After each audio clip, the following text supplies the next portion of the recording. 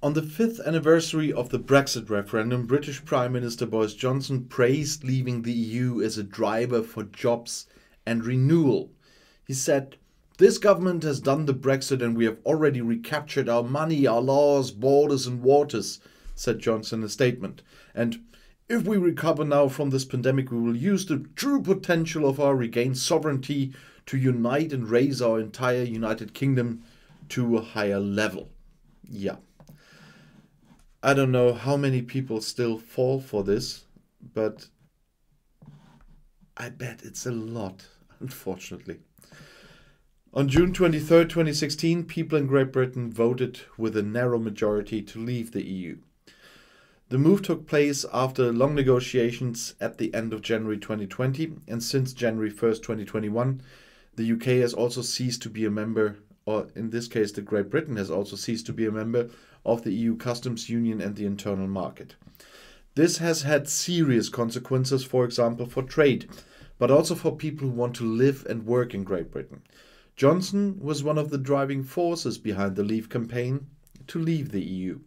Critics, on the other hand, point out that Brexit has hit the British economy hard, and the country is also facing an acid test. The Scottish Government is striving for independence and a return to the EU. The majority of Scots voted to remain in the community in 2016. However, the British Minister of State Michael Gove made it clear in the newspaper Telegraph that a new vote on separation from the United Kingdom was hardly conceivable before the next general election, which is planned for 2024.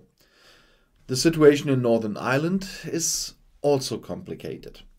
The British province is de facto still part of the EU customs union due to the Brexit withdrawal agreement, but this has created a customs border for goods with the rest of the UK. Many observers see the peace process in the former civil war region at risk.